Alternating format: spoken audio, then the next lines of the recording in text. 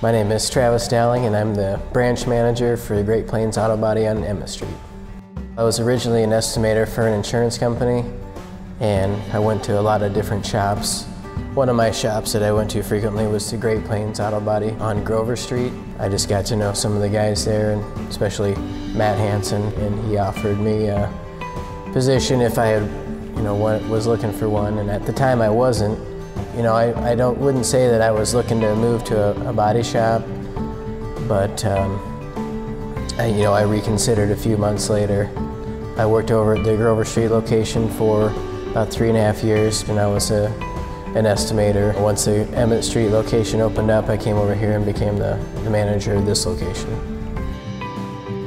When you work at the body shop, it's more of a behind the scenes look at everything. So you have to look at the, the body shop side of the estimate as well as the paint side, making sure that your basis is covered and your, your techs are getting the, the proper times it should be. You know, if we can get everything the first time, everything goes a lot smoother.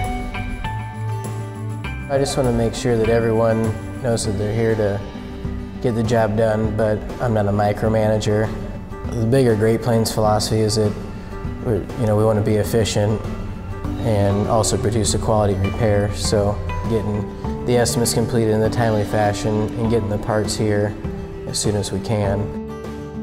You know, every collision is going to be different. You're not putting a bumper and a headlight on every single car. There's a lot of variety as far as the type of damages and the amount of damage.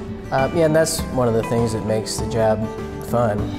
Keeps you sharp because there's all, all sorts of accidents, whether they drive them in or they tow them in. Well, I know Great Plains was a, a family-owned business, and growing up, my dad had his own construction business.